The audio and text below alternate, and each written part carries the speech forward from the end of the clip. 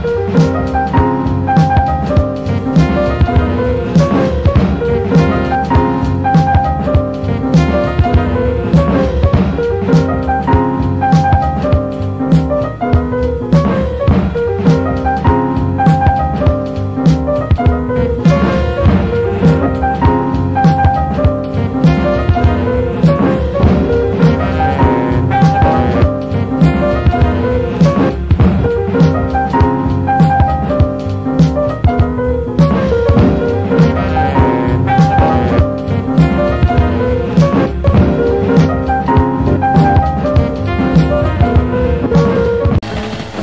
They bombed the Capitol to bring a smile and a wink to all the kids uh, who hate the American government.